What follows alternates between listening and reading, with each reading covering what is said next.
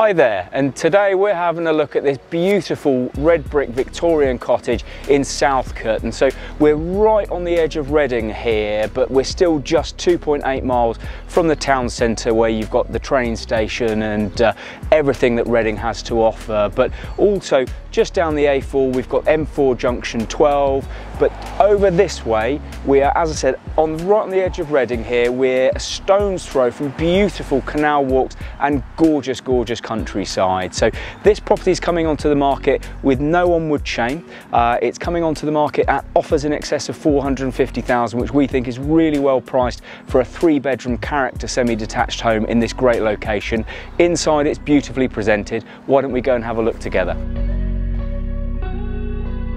Inside, the property is beautifully presented and perfectly combines character charm with a real modern flourish. So we've got features such as the exposed brick here, cast iron style radiators throughout, and uh, the decor is just fantastic. So to the front, we've got a beautiful bay fronted dining room, previously was used as a living room as well.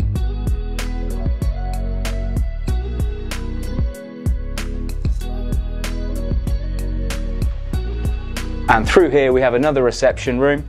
So faces out onto the garden, really lovely cozy room here. You've got the feature fireplace, you've got a kitchen just through here. Uh, so internally the accommodation upstairs, we have three bedrooms, two really good sized doubles and a single, a very, very stylish bathroom, which has been fitted with a large bath, standalone shower as well. And uh, once we've had a look at the inside accommodation in just a second, we're gonna go and have a look at the garden together.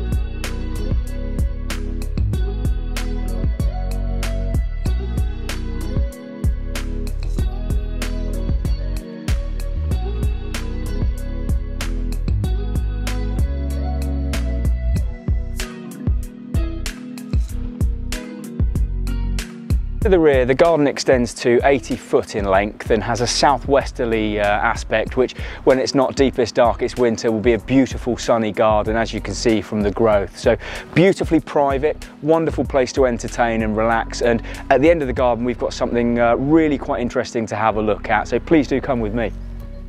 The timber cabin we have here at the end of the garden has got light and power and heating and is a fantastic space no matter what you want to use it for. So currently it's set up as a gym and a bar and the guys here have had a fantastic uh, uh, number of parties over the years but actually nowadays one of the most searched for uh, criteria we're finding since the pandemic is home office and the ability to work from home. So this could be a fantastic place to run your business. Have a look.